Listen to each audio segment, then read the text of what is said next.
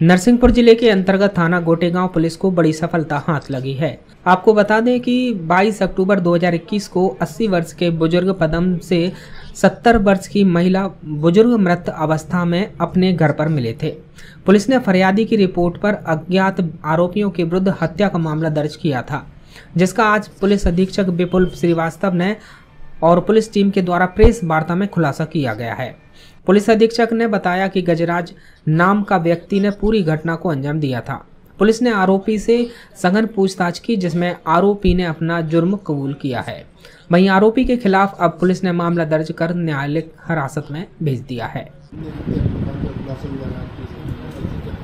थाना गोटेगांव में अक्टूबर 22 को एक दोहरा हत्याकांड हुआ था। उसमें सत्तर साल के दो वृद्ध थे। दोनों पति पत्नी की हत्या की गई थी। बड़े ही विभत्स तरीके से उनकी हत्या की गई थी। करीब सात माह बाद उसमें खुलासा हुआ है और यह बात समझ में आई है कि जो मृतक और मृतिका थे, उसमें शांतिबाई वाइफ ऑफ़ पदम सिंह और पदम सिंह इनके ऊपर जो आरोपी था इसमें गजराज। गजराज को ये शंका थी कि ये दोनों जो है उसकी पत्नी से नैतिक कार्य करवा रहे हैं। इन लोग के ऊपर वो शंका करता था और इसीलिए उसने एक दिन रात में जाके और कुल्हाड़ी से इनकी हत्या कर दी और हत्या करने के बाद जो मृतिका शांतिबाई का फ़ोन और उसकी पायल, ये उठाकर अपने घर ले आया और घर लाने के बाद अपने पत्नी सुनीता पटेल को दे दिया और सुनीता पटेल ने उस फ़ोन में से सिम निकाल कर फेंक दी और फ़ोन